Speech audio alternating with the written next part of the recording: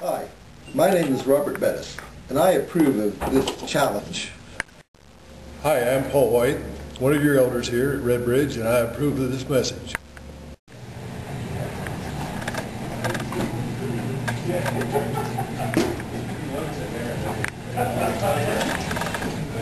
Hi, I'm Bob Hicks, one of the elders at Red Bridge Church of Christ, and I approve of this message.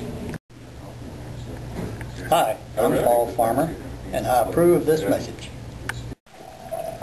Read my lips. I'm Roger Mashinsky, one of the elders of the Red Bridge Church of Christ, and I approve of this challenge. I am not a crook. This is a little too too up close and personal, isn't it? Are we ready to start? Hi, I'm Harv Smeltzer, and I approve of this challenge. I'm Jim Dalton, and I don't approve of this message.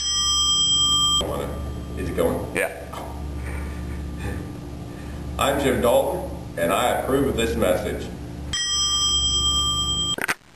Hello, I'm Jonathan Trotter, and I approve of this message. We're the elders of the Red Bridge Church of Christ, and in 2008, we want to encourage you to stop, look, look, and listen and listen and listen